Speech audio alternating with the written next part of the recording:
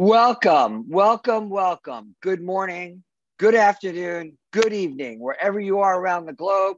Welcome to season two, webinar 21 from the World Society of Pediatric Ophthalmology and Strabismus. This is your update in ophthalmology. This is your opportunity to talk to rock stars in ophthalmology, never gathered before together to update all of us on what's going on in ophthalmology, what's cool, what's new, and have an interactive discussion with you around the world. And today, we expect people from around the world already. We have people from North America. We have people from Mexico, Ecuador, Colombia. We have people from, I have to look to make sure I have it, from Chile, Argentina, Brazil, who are already on with us. We have people from all throughout Europe. Uh, the UK is here, France is here, Germany, Switzerland, uh, Ukraine, welcome, uh, Poland, Greece, uh, Spain, Portugal. We have Africa is here, Nigeria, Ghana, uh, South Africa is here. We have the Middle East, Lebanon, Israel, Saudi Arabia is here, China, India is here. In Asia, we have New Zealand, we have Hong Kong, Singapore, we have Australia. The world is here. So, welcome to all of you. Thank you for joining us. We look forward to seeing you for our upcoming webinars. Uh, June 19th, we have a, another wet lab, a more advanced wet lab. June 26th, we're going to review ROP, which is around the world. July 3rd, we'll have infantile nystagmus syndrome. So, uh, with all of that, we have webinars that are going on all over the, that you will be able to be a part of. We want you to join us. This is a participation event. So, we want your questions to come in on Facebook. We need those questions to come in on YouTube. Type them in on the question and the comment section, and we will get them passed along to us. Uh, one technical thing I'm going to ask our technical people from NTOD to please mute themselves because we can hear them talking as they work. So, Rahul Jain and the people from NTOD, please mute yourself. Thank you very much. Our panelists will continue to answer as many possible questions online and live. And then the questions that are not answered here will be compiled in a PDF and uploaded onto WSPOS website. Your questions will be answered. We also will have questions for you on menti.com. If you go to menti.com and enter the following numerical code, you will be able to see the questions that we have arranged for you. That code is 3809 8950. 3809 8950 is your passcode. And that will, you will see our questions for you. And we'll find out about where you're from and what you think about some of the things that are being said by our rock star panel. So, with that, um, I'd like to get uh, to begin to introduce some of our uh, speakers today. We're going to introduce them once now so that we can delve into a discussion and not introduce them again. Honestly, this could take the entire 90 minutes, but we're going to make this short and we're going to make it to the point because the, the, the CVs for these people just go on and, like hundreds of pages. So, my co moderator today is our co director for the WSPOS, he is at the University of Pittsburgh uh, in Medical Center and the Children's Hospital there, but he is a truly a man of the world from Kenya to England to India to, to the United States. His foot is in so many countries and he speaks so many languages. It's a pleasure to have you join with Ken as my co moderator. Uh, I don't even think I have to actually introduce Ike Ahmed. Um, I, I looked at your YouTube page. You have 14,000 subscribers, ophthalmologists from around the world who come to hear you talk about the most difficult cases that they ever deal with.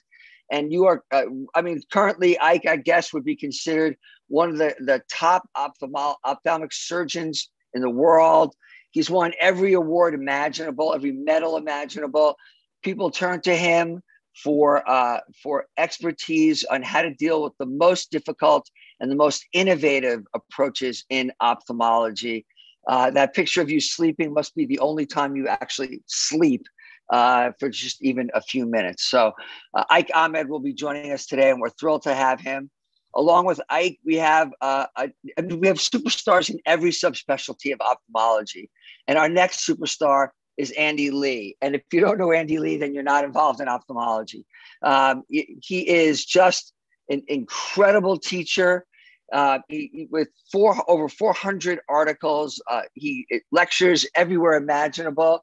As he came on this morning, Andy said he had just finished a meeting in India. We're not surprised by that.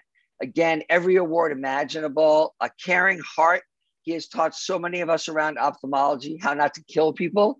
And today he'll be talking to us about an incredibly cool topic that I can't wait for you all to hear about. Whatever your role is in, in the world and in ophthalmology, you'll want to hear this. And with that, I'll turn it over to Ken to do the rest of our introductions.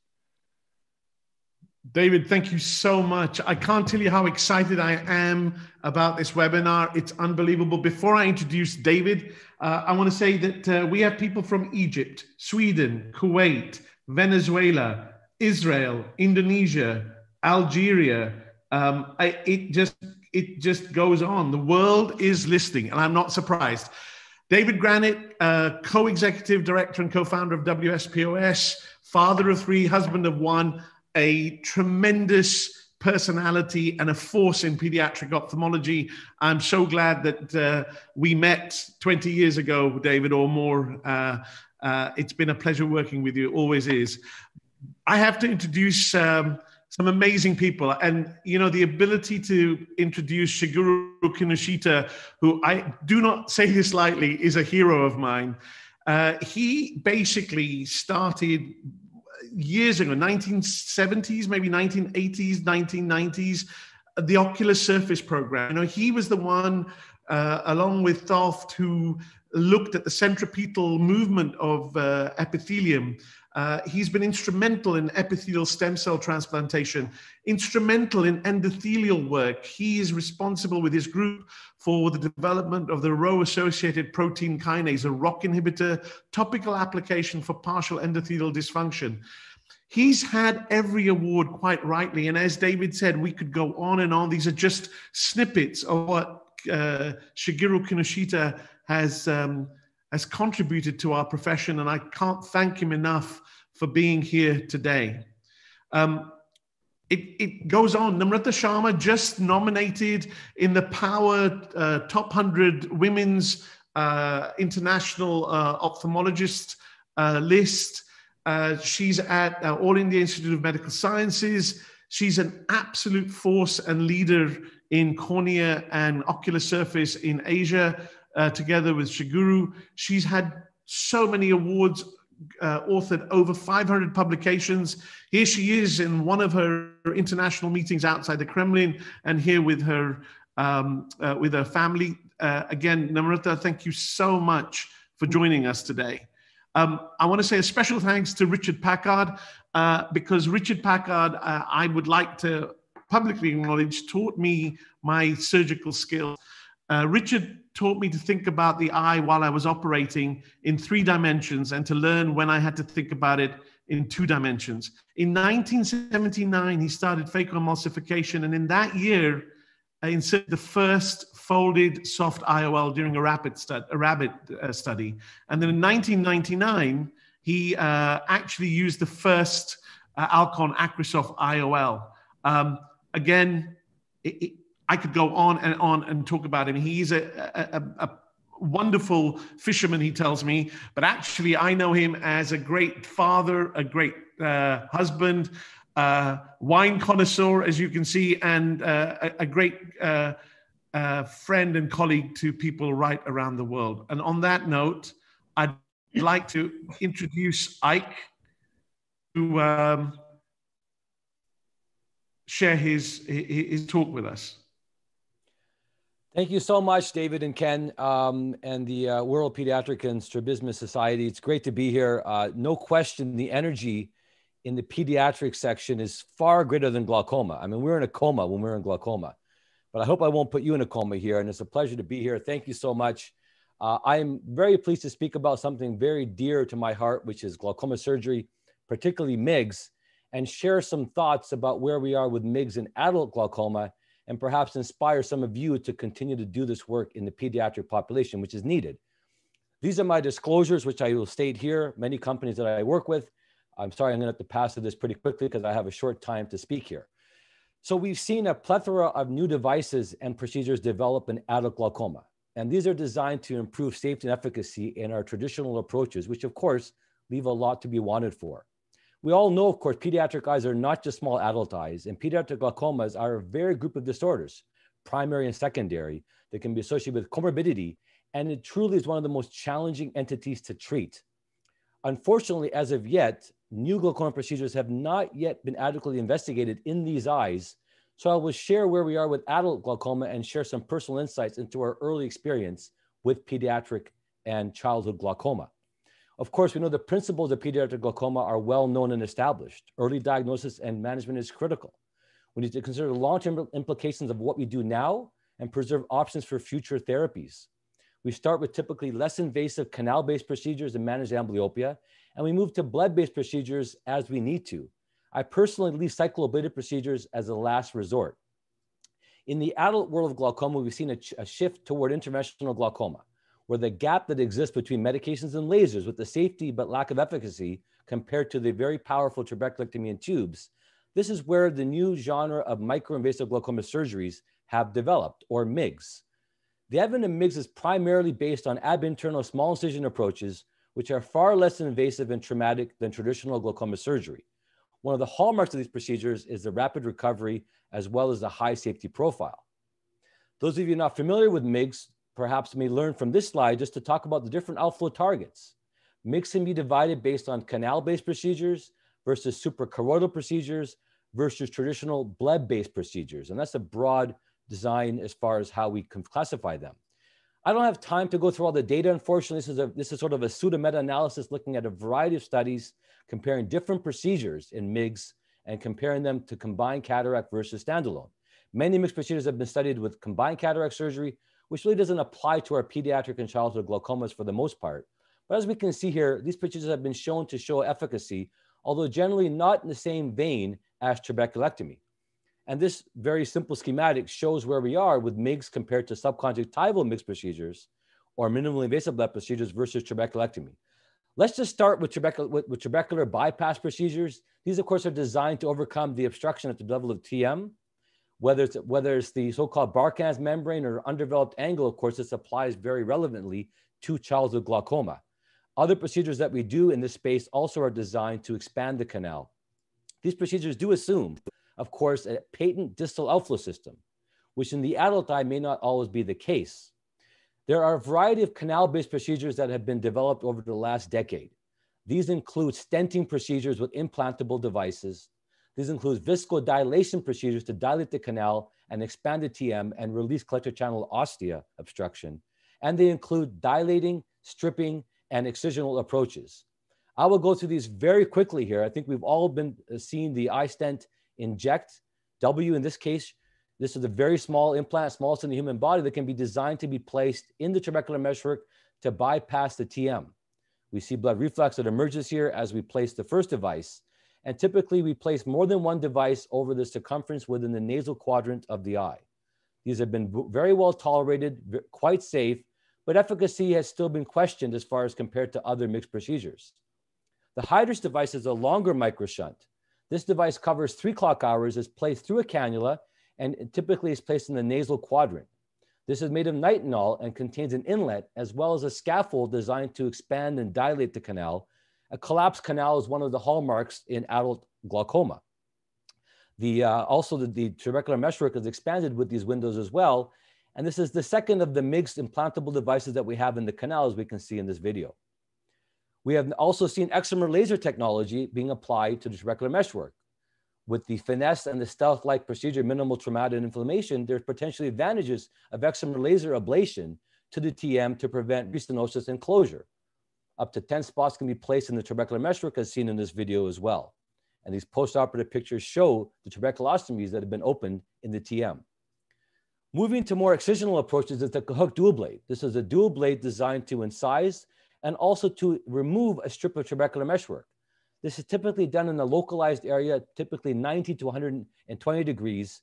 And basically you can see the tip being placed in the trabecular meshwork in the canal and slid across. This actually creates an excision here of the, of the trabecular meshwork and actually provides a specimen. and what we call so-called goniectomy here, as we see in, this, in these pictures. There's a TM that's been opened up now and actually removed. The Trabex, Trabectome, and also Trabex Plus also are designed to do this. And we can see the excisional goniotomy here, or goniectomy as this, this tissue is removed. Uh, for the adult eye, certainly this may provide some advantage for prevention of closure due to the cut trabecular meshwork flaps. We've all seen the, uh, the, the, use of ab external and ab internal suture trabeculotomy uh, that's been popularized in the, in the congenital world first, of course, and then now, migrated to the adult world. This is a widely accessible procedure that can be used with a 5 polypropylene suture. That's basically the tip is melted with uh, hot temp, low temp cautery. A goniotomy is made in the angle here, and using a microforcep, using an ab interno approach in this case, the suture is placed through the trabecular meshwork into the canal. Typically in adult eyes, we do 180 degrees up to 360 degrees. In congenital and pediatric glaucoma, we typically do 360 degrees, as in this case, we can see.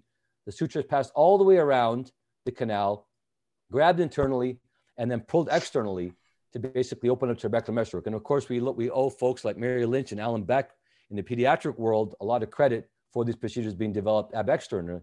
And Devinder Grover and Ron Fellman developing into the ab interno approaches, considering that the visibility here is adequate.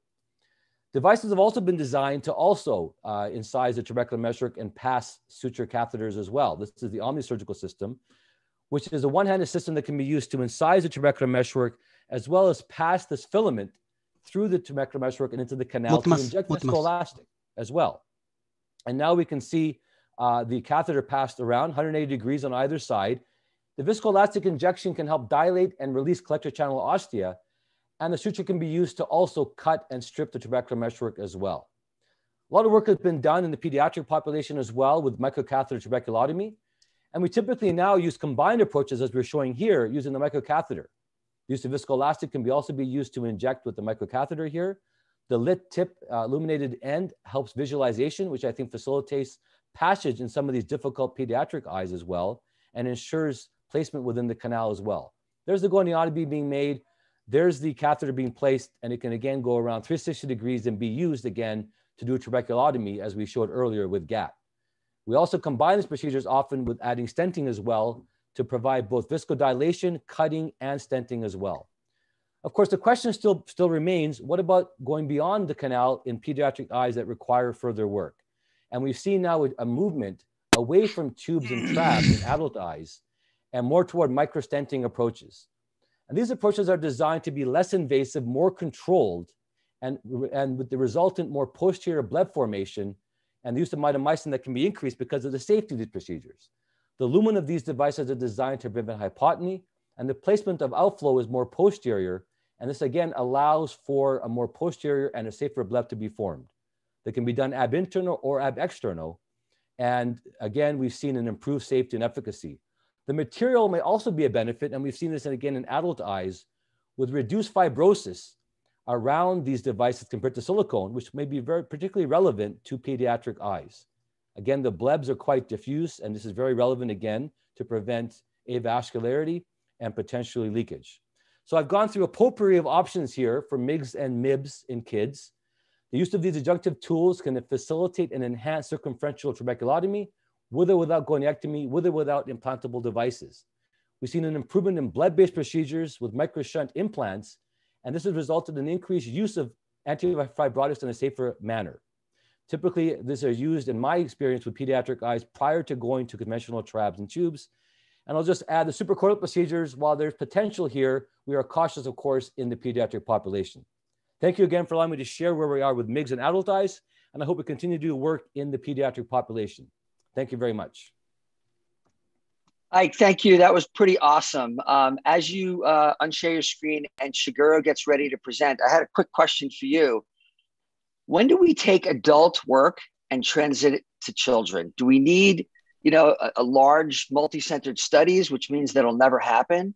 Um, or when, when can we conceptually shift that? And then after Shigeru's conversation with us, we'll have a discussion with the both of you uh, on the whole topic. But I wanted to get your thought about that one question.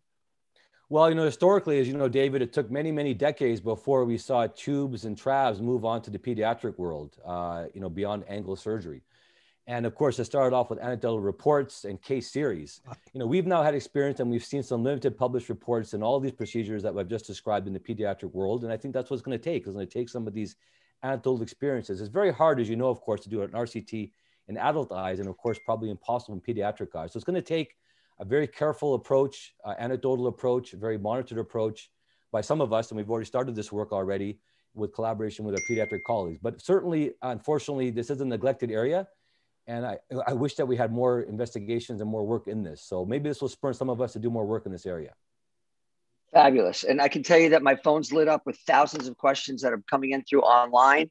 And we'll combine those with uh, the discussion with Shigeru after he's done. Shigeru, the platform is all yours. Yeah, yeah. Well, I think, uh, that, do, you, do you see my uh, slides or so? Oh, thank you very much yes. for, uh, yeah, okay. Thank you very much for uh, inviting me. Uh, I'd like to talk a bit about dry eye and inflammatory MGD therapies for adults and also the for children. My name is Kinoshita. I'm from Japan. Well, uh, let's look at the two types of the dry eyes. Uh, as you know, uh, aqueous deficient dry eye and the evaporative dry eye. So this is a general consensus in the worldwide basis. However, uh, at least in, in an Asian country, we've been proposing the uh, short BUT type dry eye. Uh, that you could see uh, instantly after blinking, you could see the, the spot break or so without any superficial punctate keratopathy. It's because of the uh, dryness of the ocular surface. Well, uh, thanks to uh, Professor uh, Norihiko Yokoi, uh, uh, he's the, uh, the professor of my our department, and also he's the president of the Japan Dry Eye Society.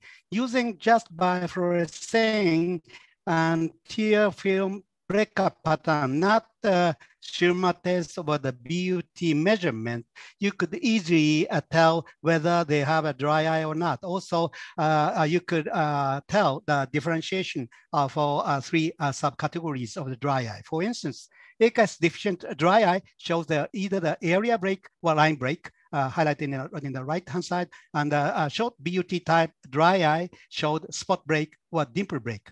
And also evaporative dry eye showed the random break. So as I mentioned to you, for especially for the children, uh, you are a bit difficult to do the Schirmer test or BUT measurement, but just by uh, seeing the uh, tear film breakup pattern, you can easily tell whether or not the dry eye exists. And then a pharmaceutical uh, treatment, it's more like a glaucoma treatment, medical treatment. Uh, there are three, at least uh, different kinds of the mechanisms for the treatment of the dry eye. One is uh, try to promote the aqueous retention or the secretion by the artificial tear or hyaluronic acid eye drops but also uh, the, try to promote the mucus secretion uh, uh, by the rebamipide or diquafosol sodium. These are, I think, um, made uh, released by the Japanese pharmaceutical company, but they also have a dual effect for instance, the diquafosol sodium has a, a aqueous secretion as well as a mucus secretion. Rebamipide has a mucus secretion and also some kind of anti-inflammatory uh, effects as well. Uh, uh, the most important thing is probably anti-inflammatory uh, treatment. Uh, uh, somebody may use a lot of steroid, but if you do not have the cyclosporin or LFA1 antagonist in uh, some of the countries, uh, you have to use a steroid, but anti-inflammatory agent as well. But generally speaking, there are very few dry eye patients in younger ages because the, their tear film is excellent, quite healthy as compared to adults, especially senior persons or so. However, we do see dry eye children with Sjogren's disease, although the number is very low, but still the, the kids also has a Sjogren disease and also Stevens-Johnson syndrome at the chronic phase or GVHD or so. Furthermore, we may encounter the inflamed meibomian gland dysfunction or the disease associated with dry eye in children and adolescents. I would like to stress you, this is probably the important, I think, ocular surface disease in, uh, in the children and adolescents.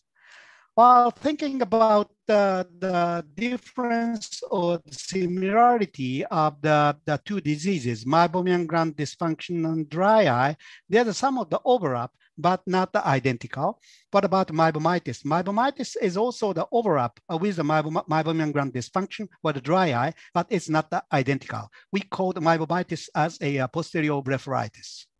Well, thanks to uh, Professor Tomo Suzuki at the Kyoto Prefecture University of Medicine, uh, uh, many years ago, uh, year 2005 or so, she described the meibomitis-related keratoconjunctivitis. One just a tiny uh, uh, meibomitis could induce the phlyctenular keratitis or superficial, superficial punctate keratitis with a corneal infiltrate, or sometimes uh, that could induce the granuloma. This is not the infection, but the pathogen related, uh, the, the host uh, defense mechanism make such kind of granuloma. Well, and then well, we, we have performed the, some of the systemic review uh, uh, whether the, these uh, four diseases are similar or the identical or the one unit of the, of the clinical entity or so, pediatric ocular rosacea, phlyctenular, keratitis, or childhood blepharokeratoconjunctivitis. Keratoconjunctivitis. So according to the our systemic uh, review we published in uh, ocular surface uh, uh several years ago, they are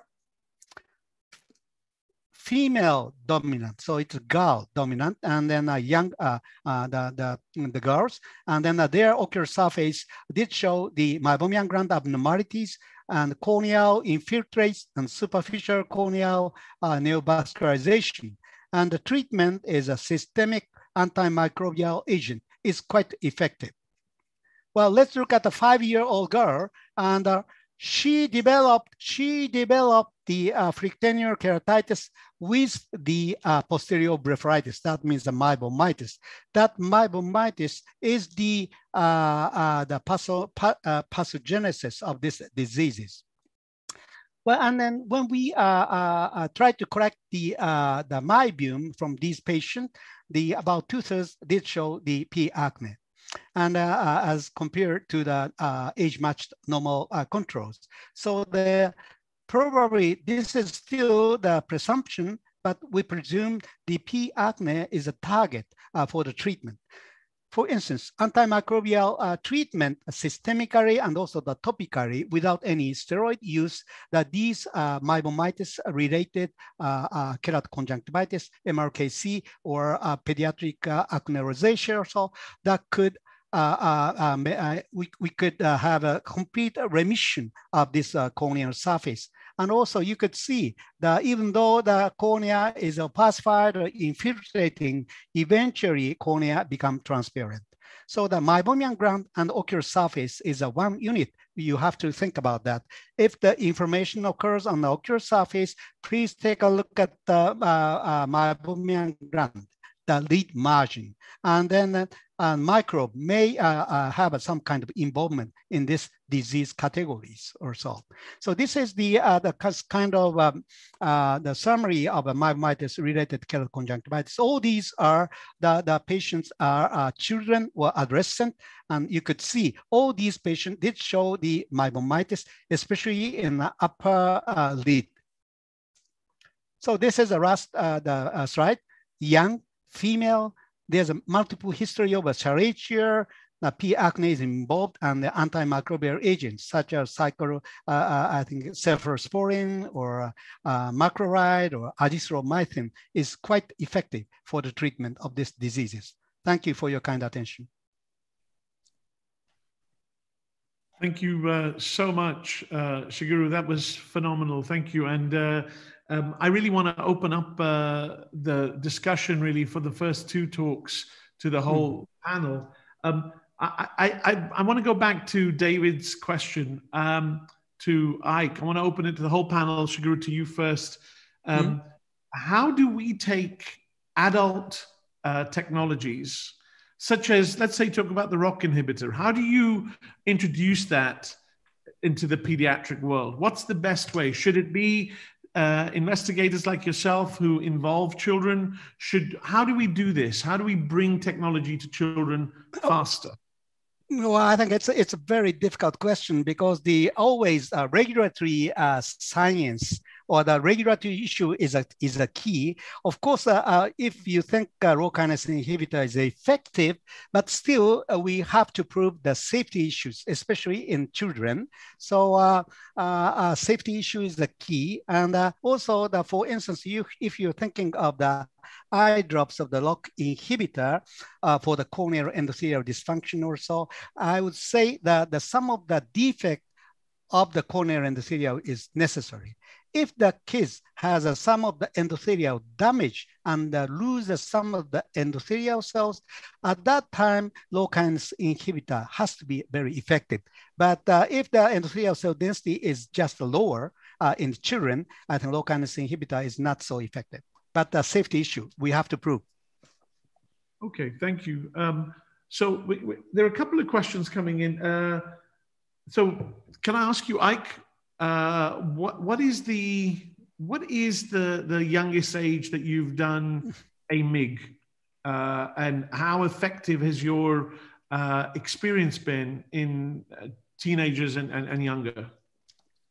Yeah, so Ken, you know, I mean, I always start, uh, as I'm sure most of us do, with angle-based procedures, and, and my preference is to use a microcatheter, uh, whether it's ab externo in a congenital case where the view is very poor through the cornea, or whether it's ab interno where I get an adequate view and even endoscopically assisted to do that. I prefer to go ab interno in the vast majority of cases uh, with, with, with these young eyes and preserving conjunctiva. That's my first approach. And I think the microcatheter greatly facilitates the uh, passage of the device through the canal as opposed to using a suture, which is, of course, is, is more widely accessible. That's my first approach. And I would say that based on uh, my experience and those that have been published also with RCTs, as we've seen, from India and other ways around the world, that there's a greater efficacy and a greater probability of getting circumferential trabeculotomies, which parlay into a greater efficacy with IOP lowering. So that's my first approach, and I think it's been great. I think the um, the cost, of course, is a factor as well. Not, not a lot of experience with stenting itself in the, in the pediatric population in the canal, although in more of the older pediatric patients, meaning you know teenage uh, or juvenile cases, uh, we've had some success in there. Where I'm really excited about is an area that I think we really lack uh, a good uh, procedure is the subconjunctival bleb-based procedures. You know, tubes have their issues, of course, in these young patients with exposure, corneal issues, and lack of efficacy as well, and maintenance. And TRABs, of course, we know the issues around use of mitomycin, which I think we need to use for these cases, with, of course, conjunctival breakdown, hypotony, and the rest of the things that occur with this and long-term infection. These microshunts, I think, really provide an advantage uh, to reduce those risks while still maintaining good efficacy. And I personally now, my youngest patient that I've used a bleb-based microshunt now has been four years of age. Hmm. Uh, we use Ologen as well. We use mitomycin. We use postoperative adjuncts as needed. And I will cautiously say, and again, I say this cautiously because our numbers are still, you know, below 20 in the pediatric, uh, in those young patients. I, am very optimistic that I think this is going to, this is the preferred bleb-based procedure once you move beyond the angle uh, to proceed to. So this is where I see the future is. Uh, I've been encouraged with the control, lack of hypotony because of the benefit of the small lumen. Um, and myself and others uh, around and now you've been using these devices in that population. So that's where we're at. Many teenagers that we've done as well, of course, um, in, in that group. That's, a, that's my quick anecdotal personal experience, Ken. That's great. David, I want to pull you in. Meibomian gland dysfunction in children. I want the whole panel on this. I mean, it is it is so common. Uh, and Shigeru has uh, given us a great uh, talk of his experience. Uh, what's your experience, David and Namrata? I mean, Andy, I'm sure, I know you're a neuro-ophthalmologist, but these kids are all over the place. I mean, yeah, they, Ken, you know, I mean, I, have had the pleasure of working with uh, Stuart Brown in the beginning of my mm-hmm. career, and mm-hmm. honestly, in my training uh, for uh, pediatric ophthalmology, it, it, never came up. It was Stuart Brown who first pointed this out to me uh, in children who we were having difficulty with. He also showed me what Shigeru pointed out, which is that the cornea will clear uh, mm-hmm. as well, and I mm-hmm. was, it was really. Um, uh, pardon the pun, eye-opening to me to, mm-hmm. to learn that. I think this gets missed I think mm-hmm. that um, we uh, ignore it, and a lot of the, the, the difficulty we see in children are related to this. Mm-hmm. Shigeru, I think that you would probably agree. Well, thank you very much. I think especially uh, when we see these patients or the kids, we start using the steroid. I think it's okay, but uh, that could make a partial remission. Uh, and then uh, it's come and go, recur, and so on. And during that time, cornea got haze, infiltrate, and some of the vessel ingrowth. At that time, we have to have a proper antimicrobial agent, especially I would say systemically, not only for the topically. That could that could make the complete remission of that. So that is our, uh, I think, proposal. Namrata, you know, you can I? Sorry. Go ahead. Sorry. No, no. You must so, so Ken, uh, yeah, we have a different subset of patients. Uh, as far as uh, meibomian gland disease in children mm-hmm. is concerned. Mm-hmm. Uh, we uh, get a lot of uh, staph- staphylococcal blepharokeratoconjunctivitis and uh-huh. post uh-huh. that, you know, um, MGD coupled with MGD. Then we get a lot of phlyctenular keratoconjunctivitis, which I think Shigeru also, you know, showed along with the disease of the meibomian glands. And I think for us, uh, acute SJS occurs a lot more commonly in the younger age group. So consequent to that, uh, we get a lot of pediatric patients who have uh, involvement of the meibomian glands. Mm-hmm. So mm-hmm. our subset would be slightly different, you know, from uh, from uh, what is there all over the world. Mm-hmm. Yeah, so I think also that depending upon the hygiene status, uh, the posterior blepharitis sometimes combined with the anterior blepharitis. If they have anterior blepharitis, they have a staph, I think, uh, involvement as well.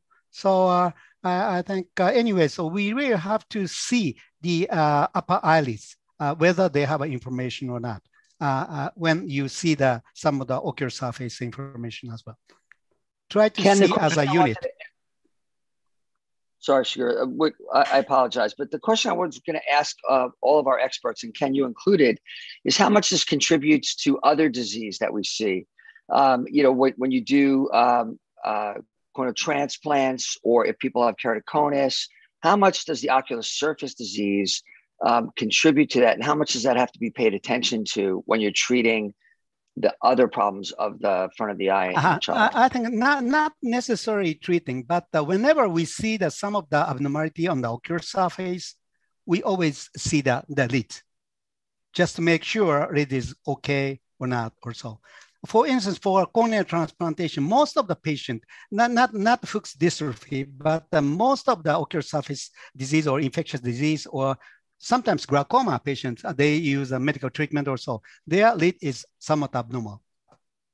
Yeah, David, I want to add a comment with, with glaucoma. I mean, mm. we see significant mm. ocular surface mm. disease in adult mm. eyes, and of course, we mm. would parlay that to pediatric mm. eyes with drops. But not only that, we don't pay attention enough to the ocular surface mm. pre-conjunctival mm. surgery. Mm. And the optimization of the lid margin and the conjunctival surface, I believe, is very relevant to the success, both short and long term, for bleb-based procedures. Mm-hmm. Uh, so yeah. I think that is very relevant, and I think mm-hmm. uh, you know we're still learning in our mm-hmm. world, and I'm glad to mm-hmm. hear that it's something mm-hmm. that is you know yeah. uh, here that we're talking about with pediatric eyes. Andy, Richard, any comments? NeuroOp has no comment. can I can I can I can I ask Ike about the treatment of the Peters anomaly? Please. Sure. Yeah.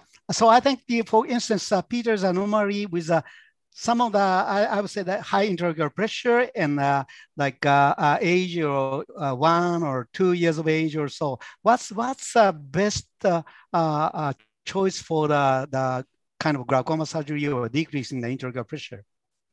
Well, how much time do we have? But you know, these these are these are complex, you know, eyes with multiple yes. morbidities, right? So yeah, yeah, uh, yeah. Uh, I, I think specifically to glaucoma, and I still approach those with angle-based procedures. I mean, these uh-huh. patients have you know uh, angle anomalies, underdeveloped mm. angles mm. as well. Mm. Mm-hmm. And I think the first approach should be to, uh, you know, use the angle. The problem, of course, often you have to deal with angle closure and other issues mm-hmm. as well, mm-hmm. and that should be designed and managed accordingly as well. So that's kind of mm. what I would start with, of course, and along with the anterior segment reconstruction that may be required with these mm-hmm. difficult eyes. Mm-hmm.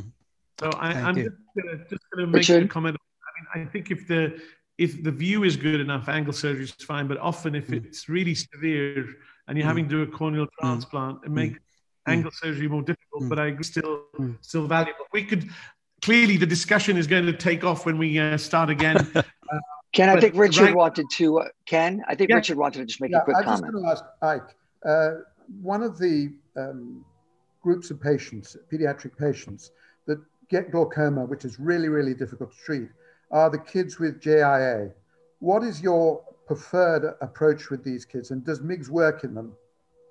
You know, JIA is one of those procedures where we have the, some of the highest success rate, and I'm talking about even you know young adults as well with angle-based procedures. So my approach is always to approach the angle here, typically doing a 360 ab interno trabeculotomy with or without stenting, perhaps. You know, you could argue that in, in some eyes as well. Of course, we have to consider the fact there may be Synechia and other things that we release as well. But I love doing a 360 microcatheter assisted viscodilation and 360 trabeculotomy. Releases any PAS that may be there and certainly can open up that angle. Some of our best results are in exactly that population as well. Interesting. And Shigeru, could I ask you a, a question? Sure. Um, one of the things that is apparent in the young adult population now is increasing dry eye disease because of screen use. Yes. Yes. that you're starting to see in children? Mm-hmm. Well, I'm not so sure about the children. The children, uh, generally speaking, when we see the uh, screen or uh, smartphone or so, blinking rate is decreasing. Mm-hmm. So, so that's uh, that induced the kind of a short beauty type dry eye, not not aqueous deficient dry eye. And then uh, even though that situation, uh, younger, uh, like uh, 10 years of age or so, their tear is so so excellent. I think, even though they could tolerate of that, so they they they probably will not uh, uh, make the uh, dry eye situations. So that is my way of thinking. So um, we're, we're, we're getting so many more questions and so much more about this discussion alone could go on, but we do have three more talks we want to get to and have discussion related sure, to that. Uh, and, and our next talk is um, Andy. I don't think you're going to talk about ocular surface disease. Uh, maybe you are as part of uh, space related. We'll, we'll, we'll find out. Uh, Andy Lee is up next. So I'm going to be talking to you about something you've never heard about and has no kids in it. Spaceflight associated neuroocular syndrome, SANS, is a unique neuroophthalmic disorder of spaceflight. It has no terrestrial equivalent here on Earth. There are no Earth cases of SANS. It is a spaceflight disorder. I'm required by the United States to read this verbatim. Dr. Vali works as a consultant for NASA, but the views expressed here do not necessarily reflect those of the Space Agency or the United States government. However, I do work for Baylor College of Medicine's Center for Space Medicine, which is located here in Houston, Texas. On July 20th, 1969, I was five years old. The moon landing was on our TV. Our TV was black and white. It said this live from the moon. Houston was the very first word spoken from the moon that day. Houston, tranquility base here. The eagle has landed. In 1978, I was in high school. These are my classmates. I've grown a little bit since I was in high school. We're all in the same grade. I skipped some grades. My second choice was to work for NASA. My third choice was Jedi Knight. And it turns out that the Force is real. Shigeru is a Grand Master. David is a Jedi Master. Everybody on this call is a Jedi Knight, and we use the Force every day. The Force is real.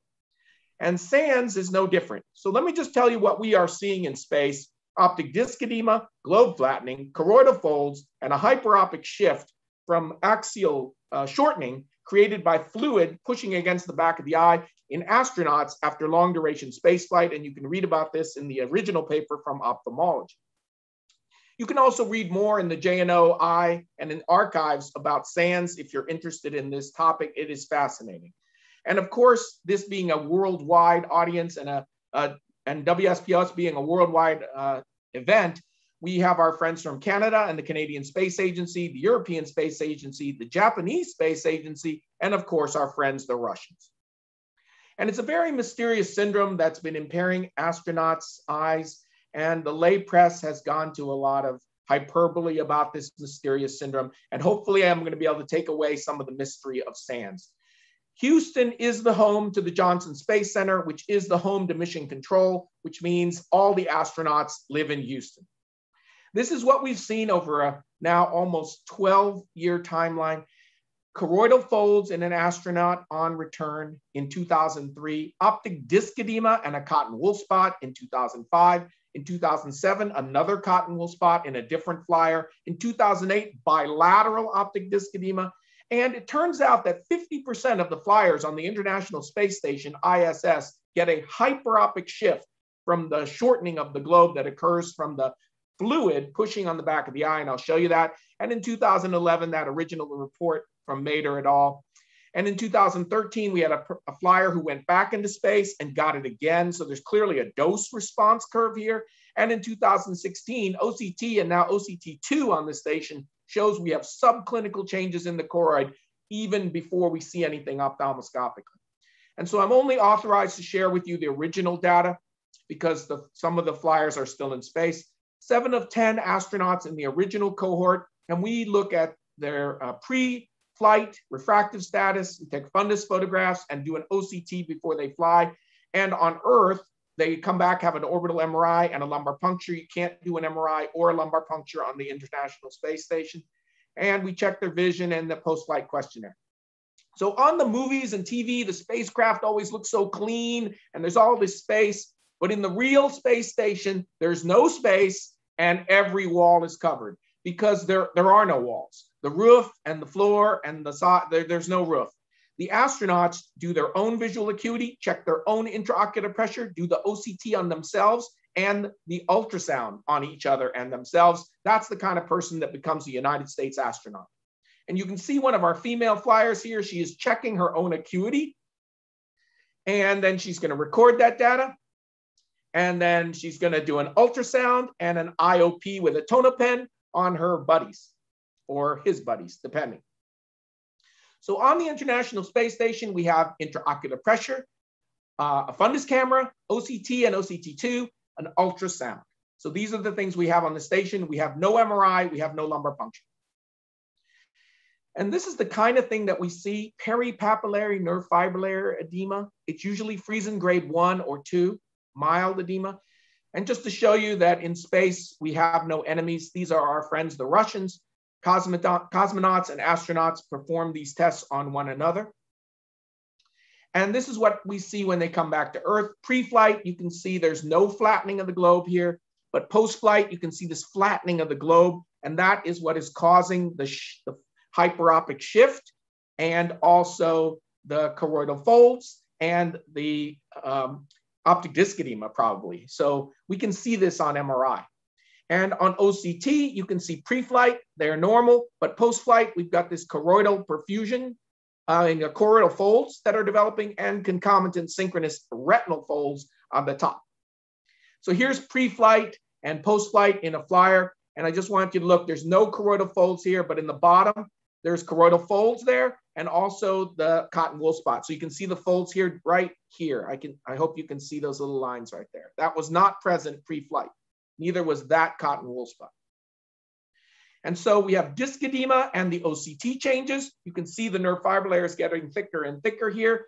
And pre-flight versus post-flight, there's no question that this is Frisén grade 2-3 edema. It's real edema, not pseudo edema. And if you want to read more about OCT in SANS, you can look at this archives paper, 15 astronauts with variable degrees of retinal nerve fiber layer thickening. Uh, and now that we have OCT2 and enhanced depth imaging, we're going to look at the choroid. So here's one of our most affected flyers. This is launch minus 32, 32 days prior to launch, return to Earth plus five, return to Earth plus 18, 41 days, 80 days, and now 225 days after return are, we have resolution of the disc edema that has occurred over time here. And the predominant hypothesis is that there's a cephalad fluid shift. It gets stuck right here at the canal. There's no gravitational field to pull it back down. And so the fluid just acts mechanically to cause the findings that we see in the eye. And that is what we see radiographically. The fluid is in the sheath, and the fluid itself reaches that dead end, flattens the globe, and causes the hyperopic shift. And so here's the choroidal folds right there again. You can see that on this red free, the choroidal folds here. And on pre-flight versus post-flight OCT, we can see the choroidal folds and then the concomitant synchronous and asynchronous retinal folds that are occurring on station. So this is an on-station event. We can see it on the OCT in space. And that fluid shift can be seen in the astronauts' faces. So you can see in this female flyer the change in her facial configuration and her facial features from being in space. And so there's some seriously weird things about what we are seeing in space. The best thing we have is closest terrestrial equivalent is idiopathic intracranial hypertension, which, as you know, is obese young females. And that doesn't look anything like a United States astronaut none of our females, our females could beat up our males. I mean, that's the kind of person that becomes a United States astronaut. Headache, transient visual obscurations, pulsatile tinnitus, and diplopia, all the symptoms that IIH on Earth are not seen at all in astronauts. So in summary, I've shown you something that is truly unique, a disorder that has no terrestrial equivalent. You literally get to hear about a disease that has never been seen on planet Earth. The neuroophthalmic findings, choroidal folds, cotton wool patch, hyperopic shift, and optic disc edema. And it defines a new syndrome called spaceflight associated neuroocular syndrome, SANS. It might be a barrier to our planned mission to Mars.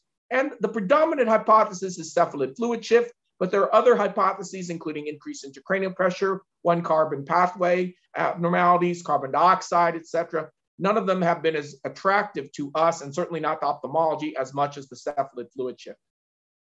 I told you on July 20th, 1969, I was five years old, and this was on our TV. That's what I was thinking on July 20th, 1969, as every five year old watching TV that day was feeling that exact same way. Instead, I became this. I told you that I live in Houston, Texas, and that is why I get to work on the project, not because of me, but because I live next to Johnson Space Center. So Johnson Space Center is the home of astronauts, including my friend here, who's a doctor, Mike Barratt.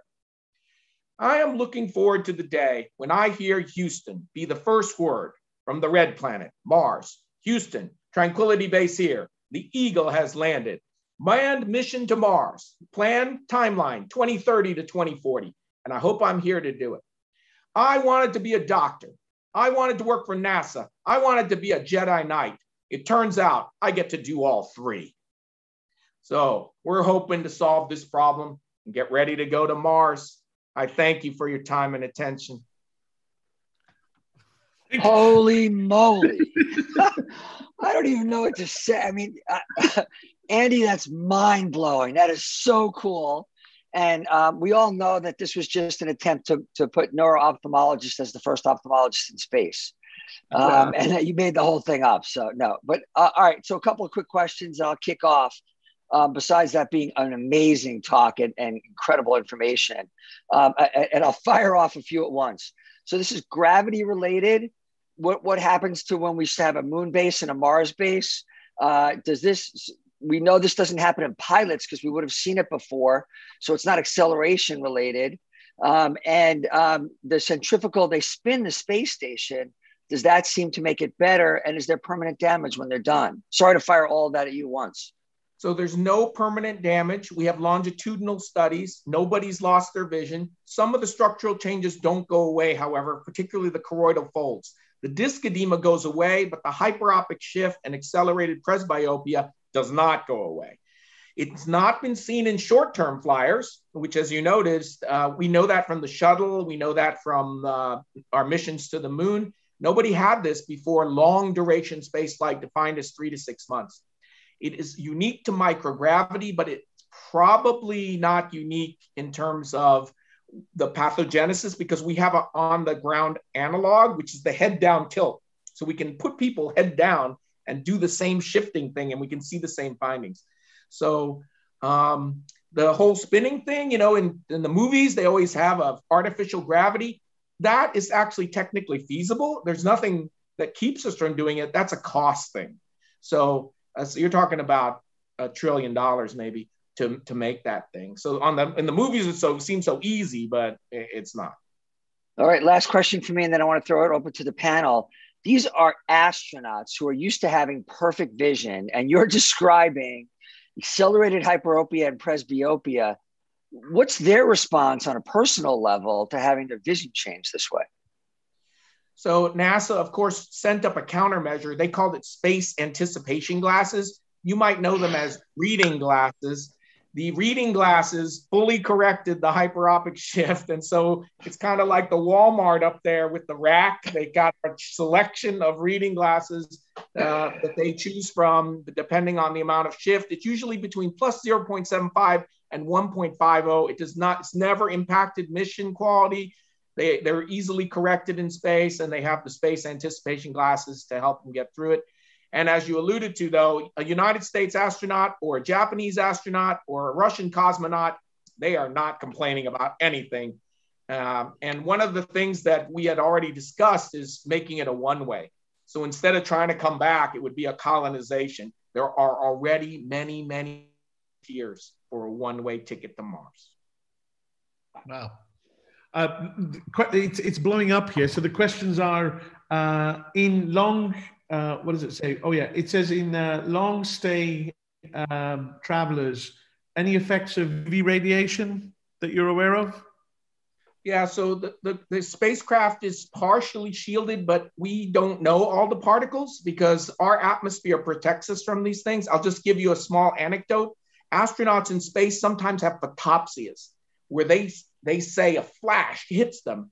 And we believe that correlates with cosmic radiation and solar flare activity. So no, we know they are being bombarded and that their retina is being hit by high energy particles. That's actually one of the major risks of going to Mars, not this. The risk is your brain is going to get bombarded with cosmic rays. In the movies, you end up being the Fantastic Four, but in the real, real world, you end up being the unfantastic people if you get brain radiation. Um, I think that's what causes the cotton wool spots. I don't think that's related to the flow, the shift and the microgravity. How could that cause a cotton wool spot? So yeah, I think there is radiation exposure. We know it does occur, but it's so intermittent and it's completely unpredictable. In fact, in space, if there was a big solar flare activity, it would probably kill everyone on the station. So, um, you know, we have such nice panelists. They're sort of being very polite. Speak up, guys. You've got questions. Uh, uh, I go ahead.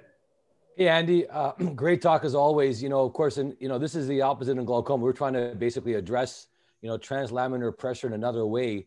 I know you, I know you're aware of the multi-dial goggles that we've been trying to play around with to actually lower the pressure in the eye with the, uh, with the periorbital environment. I mean, what are your thoughts just on finding ways to increase IOP transiently uh, with some sort of periorbital multi-dial goggles or any other way to do that to address this problem, maybe even transiently?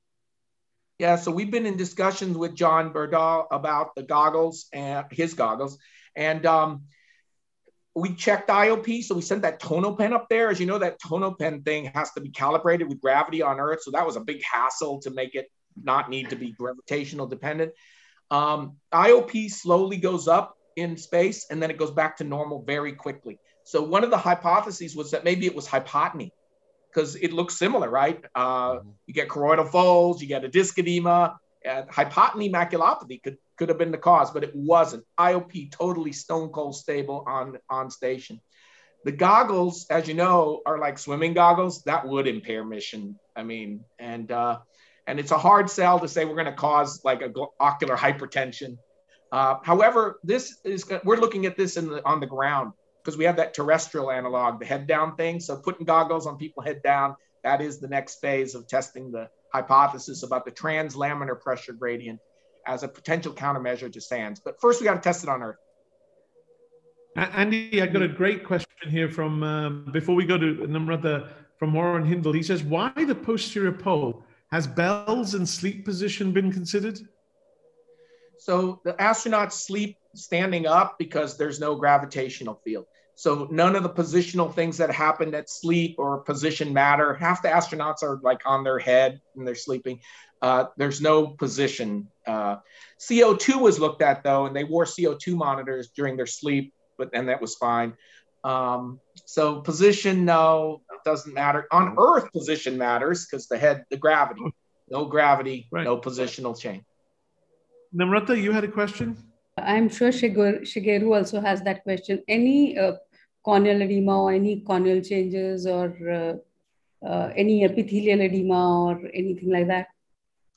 No, but we don't have a slit lamp and we don't have an ophthalmologist on station, of, of course. However, um, we don't know. I guess is what I would say. There's no there's no apparent corneal thing from gross looking or when they come back. So there's never been any evidence of corneal edema or any corneal change uh, in the flyers. It seems to be posterior segment only, matching with the cephalad fluid shift as the mechanism. Uh, I think, in, yeah, can I? Sorry. Uh, uh, I think in, in the future, I think kids will go to the space also. So uh, what do you expect or what do you presume? The elasticity of the globe is different. So what do you, what do you, what do you presume? So yeah, one day kids will go to space. And if there's a colonization effort, there will be kids on Mars. So they will have Martian citizenship. Um, I don't know. I think elasticity probably does have something to do with it uh, Shigeru, you w- might be interested to know that there are ethnic differences. So we don't have a big sample size. It's like Ike's story about how he has like two kids. So we have like two Japanese, we have And the Russians, even though they're our friends, they're kind of our frenemy. I'm speaking for myself now, not the United States government, and they don't share the data with us. So when we talk, approach the Russians and my counterparts in, in Space City, um, they said we don't have that. That's a, that's a sin of the decadent West. Sorry. Thank you. Andy, you, you said that uh, these these guys and, and girls get better over time. Is there anything that you do to accelerate this uh, resolution? We don't do anything. Uh, we do have Diamox on the station. We haven't used it. As you know, if you have a kidney stone, hurts. And if you had a kidney stone on the station, that would be a several million dollar return. Uh, so we, we haven't deployed the Diamox either on Earth or in space. No countermeasures have been deployed except the reading glasses. What about when they return to Earth? Is there anything that you do to uh, assist there? No, and it just seems to go away by itself. As you saw, it takes up to 225 days. And then the choroidal folds don't seem to go away in some people. And then we just correct their presbyopia. It has been a problem when they return to Earth because the age of the astronaut corps has aged. So in the beginning, if you saw that movie, The Right Stuff, everyone is like 25 years old, test pilot for the Air Force. Uh, now our average astronaut is 41 years old, has a PhD in astrophysics from MIT, and was the Olympic bobsled all first alternate. That's the kind of person that becomes the United States astronaut.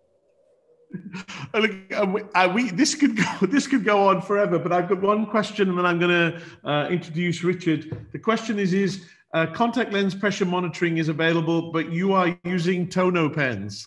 Um, any any move to using uh, continuous monitoring with contact lenses? So the, the issues in space is we have to compete with other hardware to fly up there. So like sending something this big is a million dollars.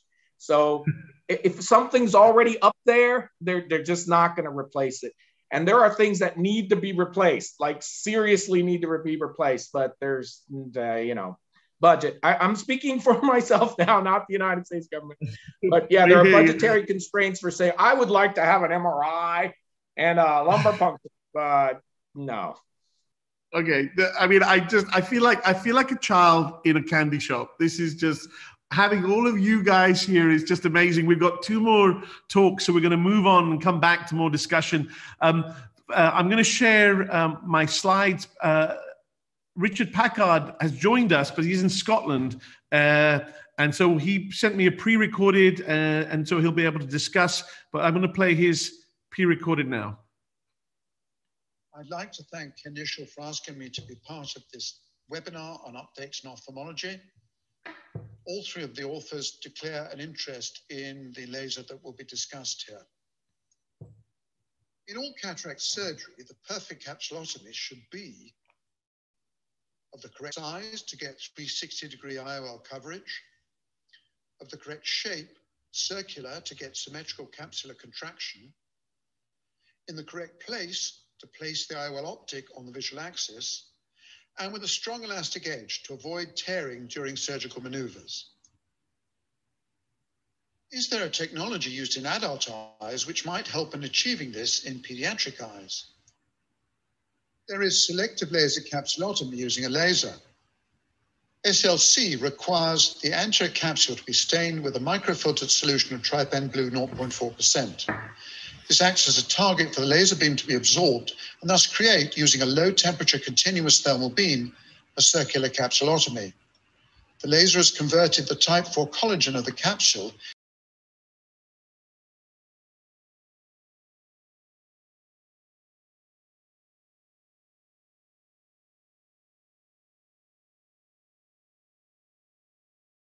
you can see mounted on microscope on the left. There's a console which fits onto a tray beside the microscope, and this sets the size of the capsulotomy between 4.5 and 5.5 millimeters, and there's a foot switch to make it all happen. Now let's prepare the eye for the laser. First thing we're going to do is inject the microfiltered trypan blue. This has a greater specific gravity than aqueous, which means it sinks to the bottom onto the surface of the capsule. It's normally left there for about 30 seconds and then is thoroughly washed out using BSS. Once this has been done, you see this going on now, we will inject some 2% sodium hyaluronate. This is to fully fill the chamber. It's important to make sure that the anterior chamber is over deepened and the surface of the capsule is as flat as possible.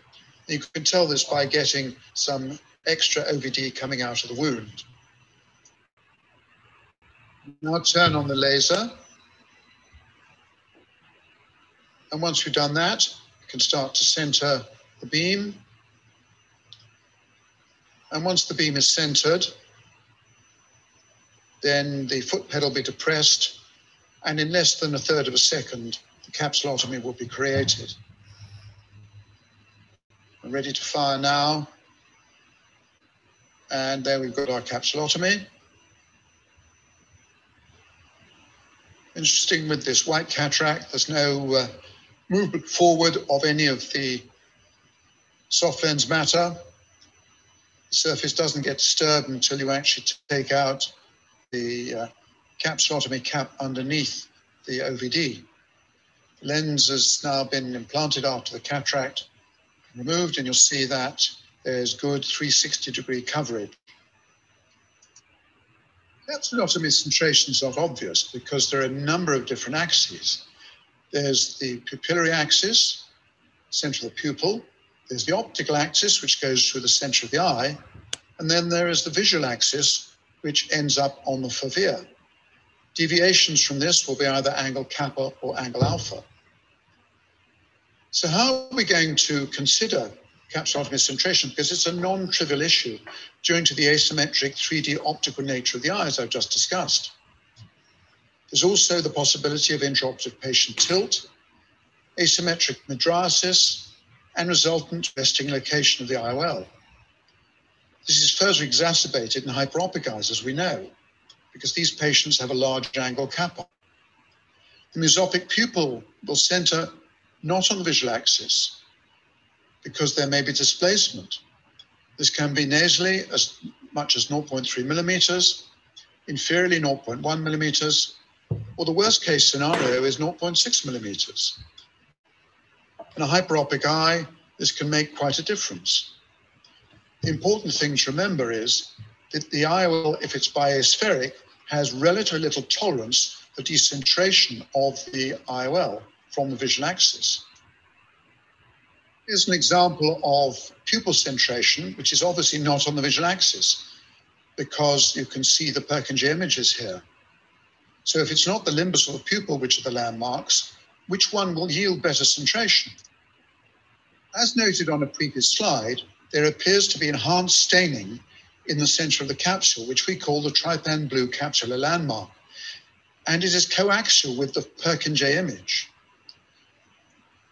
The coaxial j image is well accepted for corneal refractive surgeries the visual axis, but is this also true for IOL centration?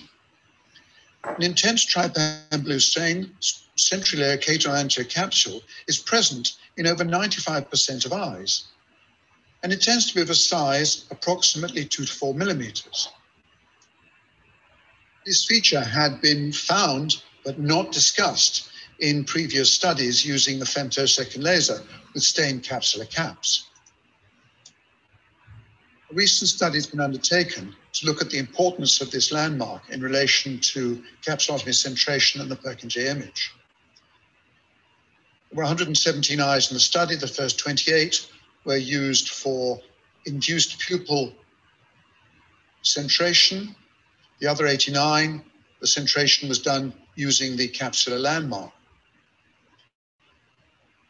95% of these eyes, in fact, had a good landmark present, and this was coincident with the third Purkinje image, with a displacement of less than 0.1 millimeters. And likewise, the coaxial Purkinje image and IOL centration were also coincident with 0.1 millimeters. The mydriatic pupil-centered capsulotomies were notably decentered from the IOLs by 0.3 millimeters. This compared with the group two, the ITC-centered capsulotomies, where the displacement was 0.15 millimeters.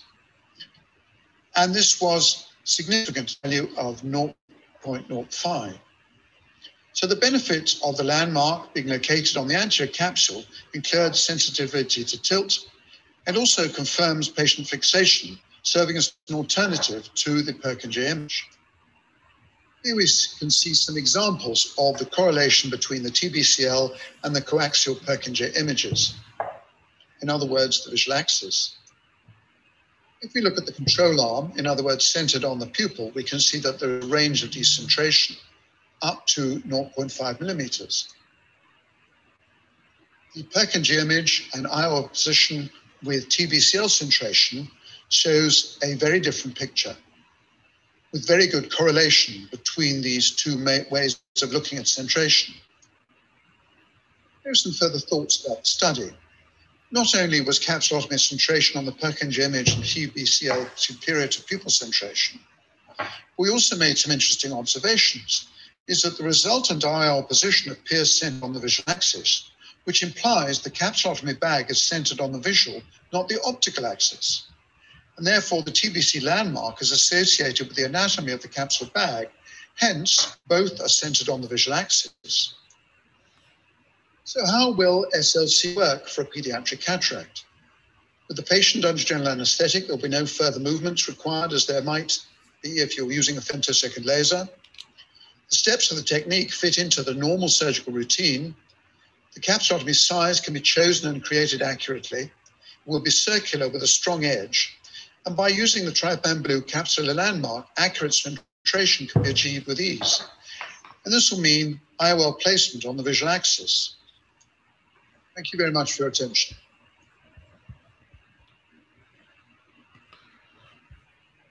Um, I, that was that was absolutely amazing. We, are going to uh, go straight on to uh, Namrata Sharma, and then we'll have a discussion uh, of your uh, amazing uh, talk, uh, Richard. Thank you. Thank you so much, Ken, for making me a part of this. And thank you, Dr. Uh, Granet, for making me a part of this WSPOS webinar. I would be talking to you about corneal collagen cross-linking in children. Uh, it is important. pediatric keratoconus is a, a different ballgame completely because it may be associated with comorbidities such as VKC.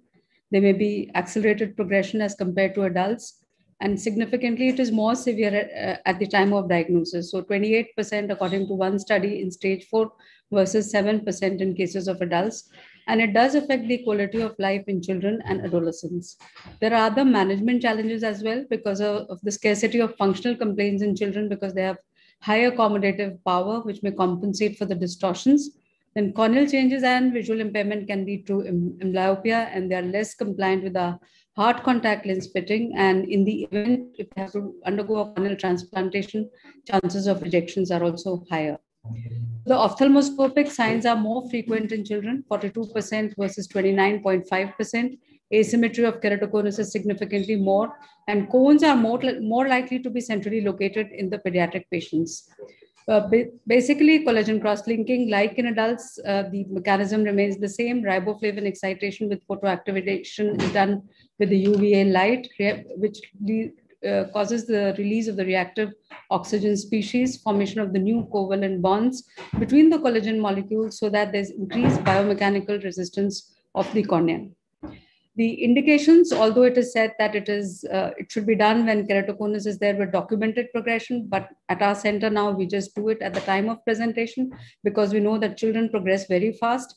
Uh, having said this, the progression is generally defined as change in keratometry by more than one diopter over one year, uh, astigmatism more than 0.5 diopter, and thinness pachymetry more than 20% over a year. Contraindications are essentially the same with corneal thickness less than 350 microns, severe central uh, scarring, dry eye, immunocompromised uh, children, collagen vascular disease, poor wound healing, and riboflavin allergy.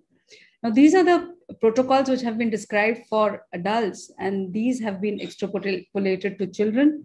So, conventional collagen cross-linking with 30 minutes of riboflavin and 30 minutes radiation has proven efficacy in most studies accelerated collagen cross-linking where you have 20 minutes of riboflavin with UV radiation, which could span from five minutes to 10 minutes, depending on the energy used, uh, does offer less surgical time and compliance is better, especially in cases of children. And you have the transepithelial collagen cross-linking with the epithelium on. Uh, it is less efficacious. The duration is same as conventional cross-linking and children post-operatively are more comfortable with it. Now, this is an important meta-analysis of three collagen cross-linking protocols of 28 studies of 1,300 uh, eyes, uh, which showed that in the pediatric age group, group conventional and accelerated epithelium off techniques uh, showed significant improvement in the uncorrected visual acuity and the corrected distance visual acuity. The keratometric indices also improved, but in cases of transepithelial uh, collagen cross-linking, the uncorrected visual acuity was not significantly altered. Uh, this is just to show uh, the table from the same, uh, which again corroborates the same thing.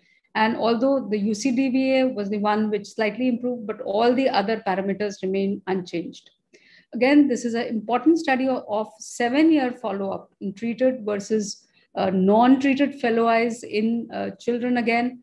And again, the mean keratometry showed significant flattening. The uncorrected and the best corrected visual acuity showed improvement. The corneal thickness, as expected, showed mild reduction. And uh, there were important thing to note is that there were eight untreated eyes. That means 26.6% cases which deteriorated and underwent collagen cross-linking, while only one treated eye which required an additional cross-linking. So they concluded that fellow eye should be monitored uh, in all cases of uh, pediatric keratoconus, and 25% will require collagen cross-linking in the fellow eye during the seven-year follow-up. Uh, this is the study that we published on pediatric keratoconus, and uh, the patients, the pediatric eyes underwent collagen cross-linking. This was a study of 116 eyes uh, under general or topical anesthesia, depending upon the age of the child. And we did accelerated collagen cross-linking for all the children. Uh, our post-op regime consisted of topical antibiotics for a week, lubricants for three months, bandage contact lens was removed after epithelialization uh, occurred, and topical uh, fluorometholone was started after complete epithelialization had happened, which was then gradually uh, tapered. And we had a follow-up of uh, 12 months. Now, of course, this cohort has completed almost two years. Uh, males were more in this cohort, and there were more cases of uh, severe keratoconus or moderate to severe keratoconus in stage three and stage four, and most cases were bilateral.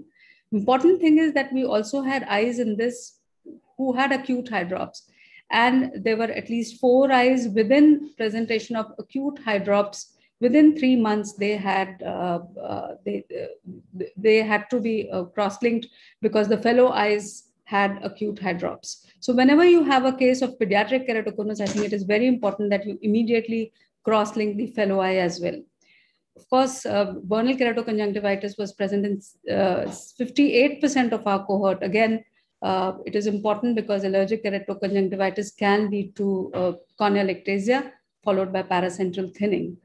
And uh, these were again moderate to severe cases with the Kmax of 60K and pachymetry, which was uh, uh, thinnest pachymetry being 396 uh, microns. Again, uh, we looked at hysteresis, we looked at aberrometry in these cases, and even the confocal microscopy in these cases. And uh, what we basically found was that collagen cross-linking did help in terms of visual outcomes and refractive outcomes at the end of one year. And the topography was also uh, stabilized in these cases, which was found to be significant. Pachymetry, as expected, was uh, low, but was not statistically significant. And aberrometry did become better in all these cases, which was again significant. We did have sterile infiltrates, mild corneal haze, and a case of infectious keratitis as well. Now, uh, again, to talk about the corneal biomechanics, we did not use Pentacam, but we uh, used, uh, we studied corneal hysteresis and corneal resistance factor in these cases, and we did not find any difference at the end of one year. And there was no difference in confocal microscopy also as far as the uh, qualitative parameters, quantitative parameters were concerned. The progression correlated positively with the presence of VKC and higher order aberrations and negatively with the thinnest pachymetry. So uh, this is uh, just to show that in our experience, we did find that the progression is halted in 80% of the eyes with improved parameters. And these are just cases to show how in one case, it has uh, stabilized at six months post, uh, cross linking. In another case, it is 54.5, but increased by 1.6 diopter despite cross linking. And when we compared our VKC versus non VKC eyes, we found that the results were quite comparable and were found to be similar, although sterile infiltrates as expected for more with the VKC group. I could only find one study where intracorneal uh, syringe segments were combined in children for uh, cross-linking uh, in cases of uh, VKC.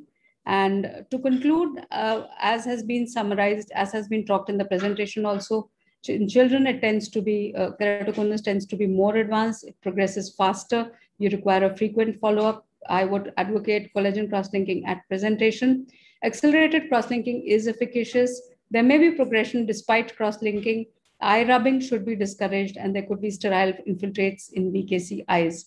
The future insights are that all the protocols have been developed for adolescent eyes, none for uh, pediatric eyes. Uh, these need to be standardized because the biomechanics, healing response, immunological aspects all are different uh, in keratoconic corneas in children. You require lifetime results, although we have long-term results now uh, to five to seven years. And redos how, what time, and how many times is something, again, which has to be looked at. Thank you very much for your kind attention. Thank you so much. I mean, I that those two last talks again uh, have completely uh, uh, blown me out the water. I'm going to ask a couple of questions to Namrata and Richard, and then David. Perhaps we can open it up and uh, start asking questions about all the talks. So, Namrata, what do you prefer? Do you prefer epithelium off in children uh, with the Dresden protocol, or do you prefer accelerated or transepithelial? So we uh, do epithelium off with the accelerated collagen cross-linking protocol. Okay, and do you do that awake or under general anesthetic? So it depends on the uh, age of the child. If the child is cooperative, and I've seen that even a nine-year-old, you know, can be cooperative to get it done under topical. But if the child is not cooperative, then we do it under general anesthesia. Great, great. Uh, Richard, I wanted to ask you. I, I have never heard of the term trypan blue. Did he call it TBCL? That central um, um, zone. Yeah, that's right. I mean. We didn't realize the significance of it. We've been staining these capsules for some years now uh, to use the laser. And then there was a blinding flash. We realized that this is actually rather significant because you can line it up with the Purkinje images and it absolutely nails the visual axis. So this means why, why did it stain like that? What what what is the? Don't know, uh, the... don't know. We're we're looking at the, the histology at the moment. As I said, um, if you looked at the uh, the slide that showed those discs that came from the femto study, it's, it's, it really is there. And it's, uh, it's remarkable. And once you see it, you think, well, why didn't we notice that before? It's always the way, isn't it? Um, so let me ask: Has anybody else ever noticed this central staining area with type trypan blue? Because now that uh, Richard talked to me about this yesterday, and I've looked through some old videos of mine, and it's there, but I just never had noticed it before. I just sort of was so busy trying to do the capsulorhexis. Anybody else on the panel notice this?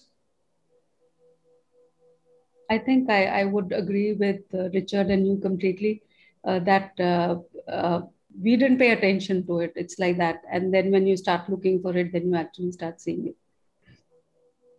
Fascinating, fascinating. David, do you? Uh, there's so many oh, questions. Yeah. I, I, have a whole host of them, so I'm going to fire away quick. Um, Namrata, you, if I heard you correctly, you said that you would do corneal cross linking at presentation. Yes. So uh, it, it, next week, hmm. I'm sorry, in children, right? In children. Next week, next week, all the pediatric ophthalmologists around the world that are seeing children are going to have a child come in whose father or mother has keratoconus, and they note some mild changes, and they see that they think the child may have keratoconus should we be referring them to you for cross linking immediately? No, I wouldn't say that. Of course, you have to see the severity of the keratoconus. But like I said, the cohort that we get are moderate to severe keratoconus. If it's a mild keratoconus, then I would still, you know, uh, I would still uh, keep that child on a on a on a follow up, but would follow up frequently. I wouldn't follow up the child after every one year, but I would follow up the child at three months interval, and uh, documentation of progression would be required for a case which is mild, but for a case which is moderate or for a case which is severe, eight year old, nine year old, I have seen that they come for you do cross linking in one eye. And if you don't do cross linking in the other eye then you know they would land up say within the next six months or one year with the acute hydrops and then they'll come to you with that. So i we have at least four such cases uh, you know like that. So i would say that for cases which are mild you should you should document progression but for cases which are moderate and severe I think there is no point waiting. It is you know better to cross-link them uh, earlier rather than later. I think Ike has Terrific. a question for. I think Ike has a question for Richard. Richard, thanks so much for that really informative talk. I mean, it's been an amazing cast here. A um, couple questions. You know, we know that with automated capsulotomy techniques, that the eventual final size is related to the elasticity of the capsule. And of course, our pediatric patients have very elastic capsules. So, how do we adequately determine the right size because of course on an adult will be different than a pediatric eye. And my next question would be more related to PCCs. Uh, any experience using uh, this technology for posterior? Yeah, we, we've done the, the PCCs in pig eyes and in cadaver eyes in the lab. We're finding some difficulty at the moment with the posterior capsule staining with, uh, with trypan blue, and we're working out how best to, uh, to do that. As far as the elasticity issues is concerned, because of the way that this laser works, it's actually annealing the edge. So we don't see, even in younger patients that have, that have been done with this, we don't see that stretching effect. But I mean, what we'll need to do is, is to start using this in pediatric eyes. And if you do find that, that they do stretch, then you just aim for a smaller capsulotomy and you end up with a bigger one. A, a bit the way you do when you're doing a manual capsulotomy in a, a pediatric eye. You're, you're um, pulling much more towards the center than you would with an adult because you're allowing for that elasticity. And if you allow the elasticity to take over, you end up with a much larger capsulotomy than you intended. So yes, I mean, I, I think that's right. But because of the way this, uh, this laser is working, it's actually having a, uh, a very localized thermal effect as it goes round. It's creating a very elastic edge, but it's also doing it so quickly that it doesn't actually have time to expand significantly. And we've seen this now with um, intumescent cataracts, where there is pressure in the, in the capsular bag that there is no extension outwards. I've, done a talk uh, which has got the accumulated uh, white cataracts that have been done with capsule laser, and there has been no deviation in this regard. And I would imagine it will be fairly similar when we do this on, on pediatric uh, capsules as well. So, um, uh, David, I'm going to just uh, uh, throw this back to our earlier speakers. A couple of questions for you, Shigeru. Uh, any role for omega-3 supplements or multivitamins in dry eye in children? I I think I, I am not so sure. At least uh, for the uh, for the adults, uh, there's some of the reports on supplementation is effective or not effective, and in, even in a New England Journal of Medicine, I think uh, uh, that somebody I think wrote that. But I'm not so sure. And actually, I think you should not for the kids, I think I should not, uh, probably I, have not used the supplementation. Anyone on the panel eye. using any supplements That's for dry eyes, in children? Not in children. I think we've not used in children and adults. Yes, we have used it, but not in children. Ken, Ken, what um, about for meibomian gland disease do you, or for uh, other lid disease? Do you use any supplements?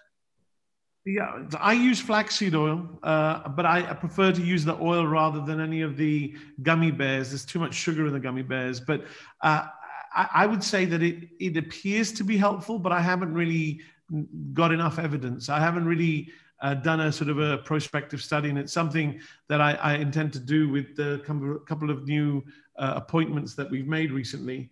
Um, Great. Gonna... Let me let me jump in, Ken. I wanted to ask Andy a question. Andy, we heard about intraocular lens implants. We heard about capsulotomies and capsulorhexis. There have been astronauts sent into space with an IOL, right? Yes. And, and, and what, what do we have to look for as we all get older and have IOLs and travel into space with you uh, as we go to Mars? I haven't seen any problems. We actually uh, had a flyer with glaucoma, I believe it or not, no no problems with the flight. So having glaucoma is not a contraindication to flying. Well, you wonder the, the reason is sometimes the flyer is needed not for their flying skills, but for their scientific skills. So there's been a total shift in the astronaut corps away from test pilots and super high end physical specimens towards like nerd people like us and the nerd people are actually the astronauts now. So revenge of the nerds, all you jocks, revenge of the nerds. for, for, our listeners, it's been so engaging. We're going to run over five minutes, so uh, hang on with us if you can. Um, question to Ike. Ike, what is your favorite initial procedure for congenital glaucoma? Well, again, it's angle-based trabeculotomy procedures depending on the view. Um, and as I mentioned earlier, um, my preference is to do circumferential trabeculotomy uh, typically using a microcatheter assisted approach. Would you um, ever consider a stent? Would you ever consider a stent as a primary procedure instead of a trabeculectomy in a child, if you had to do that? Well, I mean, it depends what the stent is. I again, I, I would, I would, you know, certainly look to doing a micro shunt in the subcon space before a bleb. Yes, I think that's where I'm at today. But again, going back to the angle, though, I think we're typically going cutting approaches. And if we're using a stent in the angle, like iStent or Hydrus, we're combining it with a goniotomy or trabeculotomy with the stent. I don't think the stent, at least in my experience, is going to be enough in these eyes and doesn't Great. address the underlying so, mechanism either. And I want to throw this in that topic, a question to both you and Ike, which is in, in congenital cataracts, there's a very high incidence of long-term glaucoma. Should we be like you do with some adults, be doing cataract surgery and glaucoma surgery at the same time and placing any of these microstents or doing anything else? Yeah, it's a good question, David. I mean, I think in the absence of elevated pressure or glaucoma, I'd be reluctant to do that. Um, I don't think there's really any necessarily rationale, and we don't know, of course, the impact yet in these young eyes. So, my preference would be to deal with it as it happens after. Although, of course, it does it does happen, unfortunately, quite commonly, and address it then. And I still, again, go back to the angle with my preferred approach, as I mentioned. So, of course, if somebody has an elevated pressure at the time, then we address it, and I would address it as well by the different mechanisms we spoke about. I, I agree. I agree. I, I, have a, uh, David, I have a question. Well, actually, it's a statement uh, for, for Andy. Andy, this is from Warren Hindle again. He says, because there's no gravity, the effect should be from the juxtaposition of periocular structures and would likely have persistence mainly during sleep. Any comments on that? Yeah, I mean, I think it would persist. It persists all the time. So uh, I'm, I'm not sure if the physiology of the sleep is actually changing it, but of course, that nocturnal hypotension, the intraocular pressure is changing. So there's a clear rationale for things happening when you're sleeping, whether you're sleeping in zero G or full G. But I don't think it's a positional thing. It's uh, it's pressure, all, all those things that happen on Earth that you can't make stop once you get in space. Um, I, we're, we're beginning to run out of time. So I'm going to ask David, should we ask all the panelists to give us one pearl each as we uh, close down? And then I'll, I'll give the final slides while everybody's doing that. I, I would like to ask the panelists to give 10 pearls each, but we'll have to take one for the moment. let's, kick off, let's, kick off, with uh, Ike. Well, I think we're cautiously optimistic that the application of novel glaucoma procedures will move toward our pediatric and important populations. Uh, the use of microcatheters of assisted trabeculotomies, possible stenting may also be used adjunctively. And certainly with bleb-based procedures, I believe the future is to move away from trabs and tubes as primary bleb procedures in these populations and move toward micro shunting approaches which I believe will lead to safer uh, filtering procedures, allowing us to use more mitomycin and addressing things in a less invasive way. And I think that's where I hope and see things going now and in the future. Fantastic. Is Shigeru? Yes, I think uh, when you see that some of the ocular surface abnormalities in children, please look at the uh, eyelid margin, especially the upper eyelid margin. So that's a key for that. Andy? It's deeply ingrained in the human spirit to want to explore. This is why you became an ophthalmologist. This is why you became a neuro-ophthalmologist or a cornea specialist. No matter what you have chosen, if you're on this call, you have intellectual curiosity. And exploring space is for mankind, not for one man, not for one country, for the benefit of all men. Is that on behalf of the United States government? that is not on behalf of the United States government. Namrata? So I think, uh, like I emphasized earlier, follow-up for pediatric keratoconus is extremely important, uh, which should be done at frequent intervals. And I do believe that protocols for pediatric keratoconus, especially the protocols for collagen cross-linking, they need to be standardized further because these have been made for adolescents and for adults, but not for pediatric eyes. And redos are something that we really have to look at because they're going to be a lot more frequent redos in children as compared to in adults. So there are, I mean, pediatric keratoconus collagen cross-linking is a completely uncharted, you know, territory which really needs to be uh, developed further. Richard, thank you, Rantha. Richard? I think what I've learned is that it's not a question of what you look at, it's a question of what you see. And then you have to, have to ask yourself, when you've seen it, what does it actually mean? Because we've all seen, as I showed you, this, uh, this uh, staining effect. But until somebody points it out to you, you notice it, you never notice what the importance of it is. And there are so many things that we will come across in our practice that we need to look at in a, uh, a more um, should we say, adaptive way. Thank you very much. That's a that's another uh, uh, thing to remember that you've taught me and taught the rest of us. Everybody, thank you so much. Uh, if you want audience uh, attendance participation certificates, please email program at wspos.org. Um, uh, there are some upcoming webinars we've talked about. Please try and join us on the 19th of June, 26th of June, 3rd of July, and we have a couple of others coming in July as well. Um, WSPOS Connect 2, our second virtual meeting will be 25th and 26th of September. We'll be, we'll be reaching out to you uh, for abstracts, etc.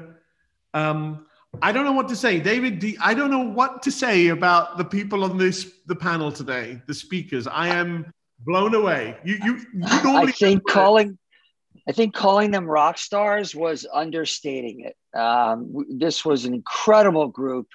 Um, and uh, there was an old saying that I used to hear from Casey Kasem when he finished his top 40 radio show. And he said, uh, keep your feet on the ground and reach for the stars. And I think that uh, given what Andy talked about and this panel, who's constantly reaching for new answers to old problems and to vexing problems, um, it, it's inspiring it is why we became ophthalmologists, Andy, and it is that curiosity that will continue to drive humankind forward. So I thank all of you for for all the work that you've done, all the patients and children that you've helped. They can't always say thank you. So on behalf of all of them, Ken and I get to say thank you so much for all that you do. Thank you, really, thank you. And I just want to thank NTOD, our supporters uh, for the uh, webinar, uh, our admin team, Akila, Maria, Dara, Camilla, um, and uh, this is Akila playing her sitar. Thank you very much, wherever you are in the world, together apart, WSPOS. This has been one of the most amazing webinars I've ever had the privilege to moderate. Thank you, each and every one of you. Uh, hear from you soon. Tell all your friends about this webinar. It's going to be on the YouTube channel for WSPOS. Um, thanks very much, everybody, and uh, goodbye. As I say, Thank goodbye you so much. Bye bye. Bye bye. Bye.